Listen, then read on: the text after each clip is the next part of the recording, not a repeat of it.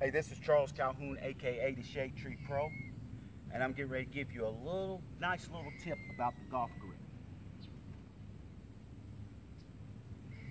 Now, I don't care what golf grip you use, whether it's interlocking, overlapping, uh, eight finger grip, it doesn't matter. It's regardless. But one important thing uh, I want you to understand about the grip. Now you may see where I have tape on the top part of this thumb, this knuckle here. This little piece of knuckle right here, this, excuse me, this little top part of your thumb, it wreaks more havoc in itself than dropouts in the Olympics. Trust me on that one. The thing is, is this, is that when we go to make a fist, this little piece of finger up top right there, that's what grits around and kind of hold things tight to activate the upper parts of the arms and the radius, all that stuff there. We're trying to eliminate that.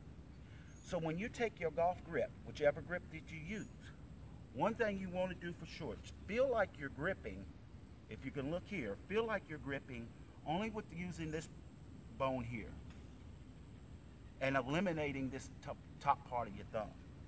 Because what happens when you set up properly, get the proper ball position, get that thumb on there, it allows you to have freedom of your hands going up, I mean, excuse me, of your arms taking your hands up, and it allows you to activate underneath your wrist to set the club nice and proper. What happens is that when we wrap this thumb around, we get up here and it gets us in a throwing action, just like when you're holding a baseball or a rock or anything of that nature, it creates a throwing action. But it creates the wrong throwing action.